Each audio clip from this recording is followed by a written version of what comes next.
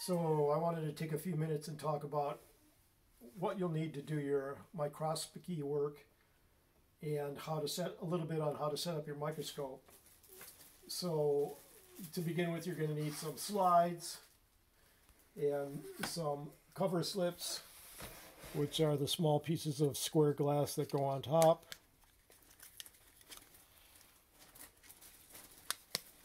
And uh, you're going to need some lens paper because invariably your lenses are going to get dirty and you need to going to wipe them off and you have to have special paper for that. It's really thin and very, I don't know, soft, as well as just regular tissues to kind of sop up messes and when you get a little excess when you put your cover slip on. Also, if you're going to do like compost or soil sampling, you need a little measuring tube like this, which you can get with cough syrup or whatever. In uh, another video, I show you how to use that, but you basically put in one part of soil and then I think it was four more parts of water, gently agitate it back and forth, and then pull your sample off of that. You're definitely going to need yourself an eyedropper, and I've got a set of tweezers up here. Now, in addition, you may want to consider getting a couple dyes. One is a, this is a Congo Red I just bought this off of Amazon. It's relatively inexpensive. And the and the other is is this cotton phenol blue. I've got I bought a bunch of these little vials vials. You actually um, squeeze them and crack the glass open, and then you apply it. That's for helping to highlight organic matter versus inorganic matter. So, you know, for example, if you're looking for mold spores or fungal hyphae and you do it properly, you actually, depending on whether you're doing a, a dry sample, which we're not going to be doing, or a wet sample, you have to use more. I find that you have to use much more dye for a wet sample, obviously, to get it to take into the organic matter, but it will turn organic matter blue or red, and that can help you uh, more readily identify material of interest. So in terms of setting up your microscope, this is a more expensive microscope than you need. I'll try and put a link down in the show notes of microscopes that Elaine Ingham has recommended, as well as, oh, there's the kitten visiting again.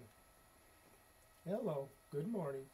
As well as a link to a guy who um, has a nice video on, I believe he was doing, I don't know if he was doing a mold spore spore trap or a, a compost tea sample. But anyway, I'll put that link down there.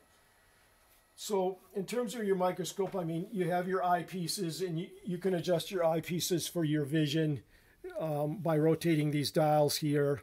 The eyepieces themselves come out and can be replaced. I've got 20x eyepieces um, and also 10x eyepieces. So the way it works is you take the uh, magnitude of the eyepiece, so in this case 20x, and then you multiply by the strength of the lens. So right now I've got a 10x, I believe that's a 10x lens running here. You can rotate this 10x lens, and you multiply those two, and that gives your your magnification. So it would be 20 times 10 or 200x, and that's I find that that's a good magnification for just being able to quickly scan the slide and still have just enough um, resolution to be able to see, get a, get a sense for or see smaller protozoa like flagellates.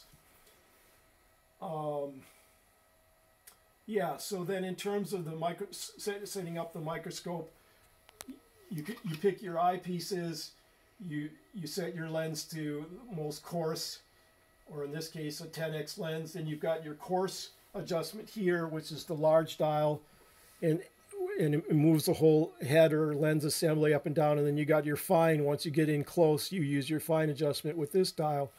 Now, one of the trickier adjustments is actually what's called a condenser lens. So if you look underneath the microscope here, there's a condenser lens here. And so you have your light source down below here, and there's an adjustment on the side, and I can turn that and raise and lower that light source. But then you have your condenser lens, which my understanding, and I'm not an expert by any means, is it focuses the light. And so, as well as acting as aperture. So if I go like this with this lever, it actually is dilating and constricting what I'll call like an iris inside the condenser lens, but the condenser lens also focuses it. So you can do a light adjustment with this as well as it focusing uh, the light source properly on the slide. So I'm going to put this back in here. It's just a little screw that you tighten, hand tighten. And the way that you adjust your condenser lens, because you can adjust, the, in my case, you can adjust the condenser lens with this dial here. And so it moves it up and down until it's focused properly. Well, when it's focused properly, properly, the way that I read on how to do it is just take a piece of paper like this, turn up your light source really strong down below, put it about halfway across, and then if you look at the laptop, you adjust the height of the condenser so that you get a nice crisp line. So right there, that now I know my condenser lens is adjusted at the right height. Now here's a caveat with this particular microscope is that you notice it's got a third, I don't know what you call it, ocular tube to look down for the computer. So this is the pickup for the computer. And you can actually adjust the height of that by rotating this ring right here so what you're supposed to be able to do is, I'm going to turn my light down. I'm looking through here. Is I'm supposed to be able to get the object in view and then I should be able to look at my laptop and it should also be in sharp contrast, but it's not. And so what you would do is, is you would actually rotate this barrel here, this knurled barrel, to raise and lower the height. But you see, I'm as it's going up, it's getting worse. So I'm dropping it down. It's getting closer and closer and closer, and it doesn't quite go down far enough. So it's a flaw in the way this thing is built. I don't know, maybe I didn't screw this barrel on. I, I think the barrel came on there attached. Anyway, I haven't ever mess around with it. I once I get it started, I'm just always looking at the computer. But the other thing is, is the camera itself can rotate, and as you see as I do that, it changes the orientation of the object. That's actually a calibration slide in there. Let me go ahead and adjust for the laptop. So you can see that's a calibration slide in there. And you want to adjust your camera so that it's oriented in the same way as when you're looking through your eyepieces and also as you're moving your stage with these two adjustments here on this particular microscope, two, two knobs right here, as you're moving your stage, when you move it to the right through your eyepieces, it's also moving to the right on the laptop, and that's just a question of turning the camera 180 degrees one way or the other. So, all right, so that's basic materials and setup of the microscope. But in terms of using the microscope, what you're going to find is when you look through there, you're going to see all kind. This was my experience anyway. You're going to see all kinds of stuff where, you know, you're wondering, is that a flagellate or could that be a dead ciliate or is that a mold spore?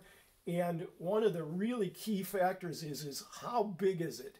Because all these organisms have a size range and some are way smaller than the other ones. So if you can look at your laptop and say, okay, I know that, uh, for example, one inch is equivalent to 46 microns at a, with a, um,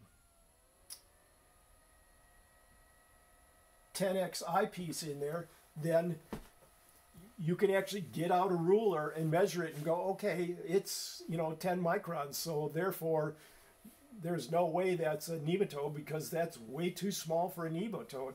So the way you do that is buy your you buy yourself one of these calibration slides and I don't remember what this one is in particular, but you know the distance between any one of those markings is a very precise distance, and you can measure that with your ruler, and then knowing what that distance is and and using your ruler, you can say, okay, like I did with you know here, I know if I'm running a 200x magnification, 46 micrometers. Uh, is that micrometers? I guess it is. Equals one inch, and at 800x, you know, 11.6 micrometers equals one inch. So I can just get out a ruler and measure whatever that entity is and you have a sense of the size. Now, in conjunction with that, you got to make yourself a cheat sheet. So um, here's my cheat sheet, and I don't know if that, this is one cheat sheet that I have, and it's just showing the different microorganisms. But you know what's even better than this is actually there's a guy called Tim Wilson, and he's got some really excellent uh, videos that you can watch. I mean, his microscope work is just excellent. He's got a good microscope and he really knows how to use it. And he's got some really great videos showing all the different protozoa. So I would highly recommend that. But, um, you know, here's one that I did when I was studying mold and mold spores. And, you know, on here I've got the different sizes of these different mold spores so that, you know, like I said, when you're seeing that on the um, laptop, if you're not sure what it is, then you can actually measure it out. And I found that to be very helpful initially because you have no sense of what small is and what really small is and is that a bacteria or is that just a huge chunk of dirt because you don't know that you know it's actually massive in size and there's no way that, that that's a bacteria for example or is that a fungal hyphae? Fungal hyphae are relatively usually relatively small in uh, diameter. So being able to measure it out i found to be really helpful initially. So yeah, that's I guess all I wanted to say on microscope setup, and uh, I think I'll quit there.